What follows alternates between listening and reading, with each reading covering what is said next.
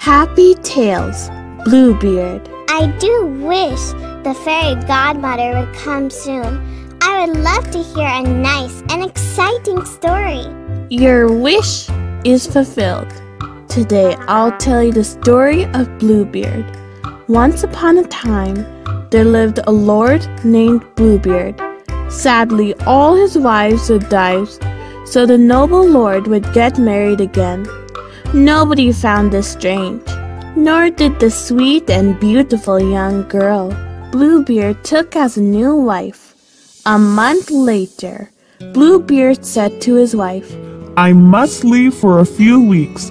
and handed her a bunch of keys, but warned her not to open the little room at the end of the corridor. Don't worry, I won't. said Bluebeard's wife. The days went by.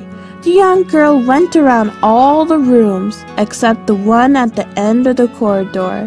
One day, bursting with curiosity, she opened the door and walked into the little room. Inside were the bodies of all of Bluebeard's former wives. Terror stricken, the girl ran out of the room, but the bunch of keys slipped from her grasp. She picked them up and noticed that the key to the little room was stained with blood. But try as she would, the bloodstain wouldn't wash away. Bluebeard soon came home and asked for his keys.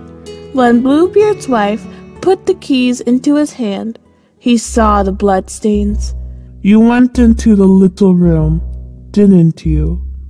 Well, you'll soon go back again, for good. He said. Just then there was a knock at the door, and Anna, Bluebeard's wife's sister, entered the castle. His wife asked for ten minutes with her sister. The girl ran to Anna and asked her if she could see her brothers coming as promised. But Anna replied, No, I don't see anyone.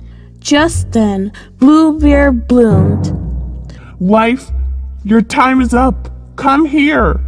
I'm coming. She called and again asked her sister, Aren't our brothers coming? No, replied Anna. Again, Bluebeard shouted, Come down at once, or I'll come up. Trembling, his wife went downstairs. Bluebeard was clutching a big knife. Just then, Anna called out, Sister, I could see two horsemen coming. Bluebeard said, They too will die. but as he was about to bring the knife down on the girl, two young men burst into the room. They were her brothers.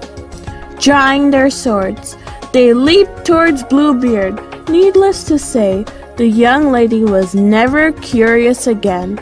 Oh, that was exciting, wasn't it? I'm so glad the young lady was saved. True. Anyway, I'm glad you liked the story. Until next time.